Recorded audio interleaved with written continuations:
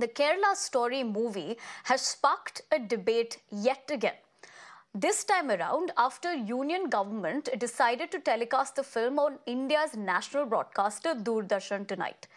Now, the Kerala government and opposition Congress have both opposed DD's decision to telecast the controversial film. Kerala Chief Minister Pinarayi Vijayan has condemned and demanded the public broadcaster to withdraw the film screening.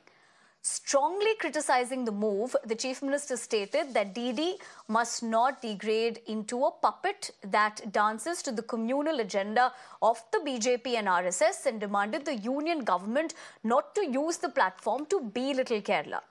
Now, Vijayan also alleged that the film could fan communal tensions in the state ahead of the Lok Sabha polls. Now, let's tell you, echoing the Chief Minister's sentiments, CPIM also demanded that DD should reconsider its decision accusing the BJP of leveraging the film to polarize the secular fabric of Kerala society. Doordarshan Kerala story എന്ന വിദ്വേഷ സിനിമ പ്രദർശിപ്പിക്കുന്നതിലുള്ള കടുത്ത അമർഷവും പ്രതിഷേധവും രേഖപ്പെടുത്താൻ വേണ്ടിയിട്ടാണ് ദൂരദർശൻ വെറുപ്പിന്റെ ഫാക്ടറി ആകരുത്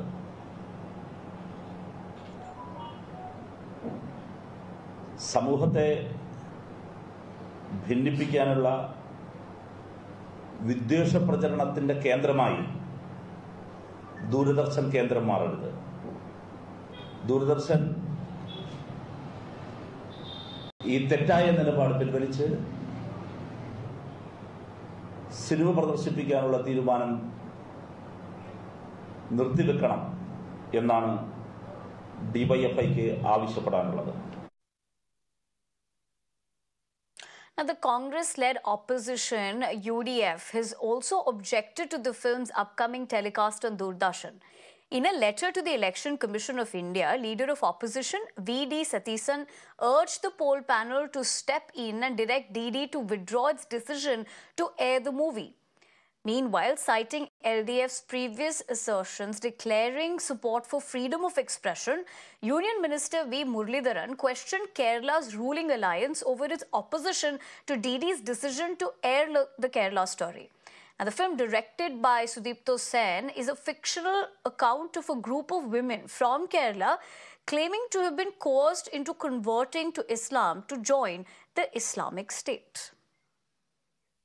a movie is a piece of art and expression of art is a right guaranteed in the constitution and i understand that all these years left has been saying that the freedom of expression is paramount in uh, democratic principles so i don't know why they are worried about a movie that is being aired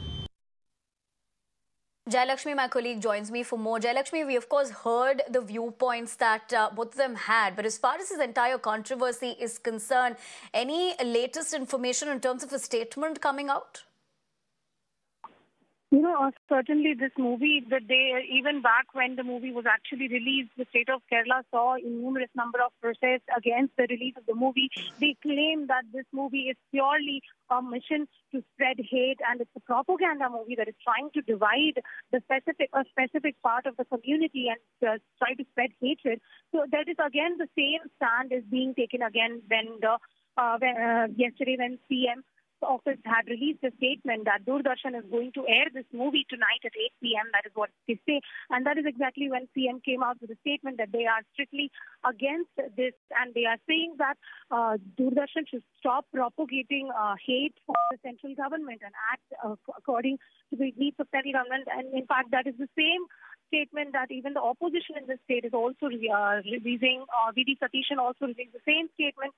But, you know, again, the state government here the, the there was a huge DYFI protest. The Youth Federation for the CPIM they led a protest to the DD office today, and they are saying that they are against and this should be withdrawn with immediate effect. But as of now, the even though we do not know if the movie will be uh, screened today. We, we certainly know that the entire state is against it and they are continuing to protest the screening of the movie. Right, Jayalakshmi. I appreciate you getting us all those inputs as to how this is essentially being viewed. And like you rightly pointed out, this uh, movie has been in controversy ever since it did first release. But for the moment, let's leave it at that.